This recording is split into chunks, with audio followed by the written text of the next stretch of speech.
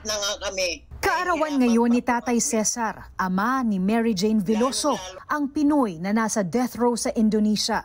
Sa labing tatlong taong nasa kulungan ang anak, isa lang ang parating hiling ni Tatay Cesar. Sana makauwi na yung aming anak. Yung po talagang wish ko, maski walang birthday, yun po talaga ang binabanggit ko sa ating mga Panginoon. Mahirap na nga kami, nahihirapan pa po kami. Lalong-lalo na po ang aking mga apo, nag-aaral sila. Ngayon, yung isa hindi na nag-aaral. Hindi na po ako nakapag-anak po ay may sakit po ako. Sana po, bago kami mawala ni nanay, eh, makapiling na namin yung aking anak. 2010 nang arestuhin si Mary Jane sa Yogyakarta Airport dahil sa heroin na nakita sa maletang ipinadala ng kanyang recruiters. Hinatulan siya ng parusang kamatayan para sa drug trafficking. Pero nakaligtas sa firing squad noong 2015 nang makatanggap ng temporary reprieve mula kay Indonesian President Joko Widodo. Nagsampa si Mary Jane ng kasong human trafficking laban sa recruiter sa sina Maria Cristina Serio at Julius Lacanilaw dito sa Pilipinas. Pero hanggang ngayon, hinihintay pa ang kanyang pag-testify. Sa kabila nito, nahatulang guilty sa illegal recruitment sina Serio at Lacanilaw sa kasong isinampa ng iba pa nilang biktima. At ngayong nasa Indonesia ulit si Pangulong Ferdinand Marcos Jr. para sa ASEAN Summit, siniguro ng Pangulo, tuloy-tuloy ang pagsisikap na mailigtas si Mary Jane sa death row. The Indonesians answer us and uh, it's, it's that this is the law. Ito yung batas dito sa Indonesia.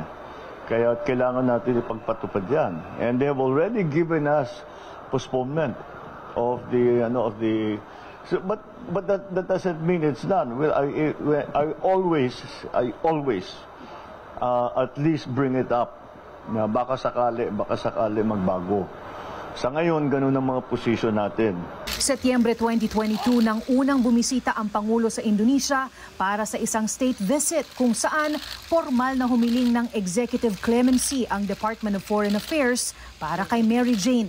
Hinanakit naman ng mga magulang ni Mary Jane ang kawalan umano ng pakikipag-ugnayan sa kanila ng gobyerno tungkol sa kaso ng anak. Dalawang beses na rin silang sumulat para sa hiling na makaharap si Pangulong Marcos. Ang nais ko po, makaharap po namin ang personal ng ating Pangulo para po masabi po namin sa loobin namin na sana matulungan na niya talaga anak namin na makauwi. Mas maganda po yung maisabi po namin yung gusto namin masabi sa ating mga Pangulo. Magmakaawa, lumuhod, umiyak sa kanyang harapan na para maawa po sa amin at matulungan na niya ang aking anak. Umaasa rin ang grupong migrante na tututukan ng Administrasyong Marcos ang kaso ni Mary Jane. Panawagan rin nila ang suporta ng pamahalaan sa mga pamilya ng mga biktima ng human trafficking. Sana sa mga ganitong pagkakataon, papasok yung uh, suporta sa pamilya, sa anak ni sa anak ni Mary Jane, yung dalawang anak sana mabigyan ng suporta sa edukasyon.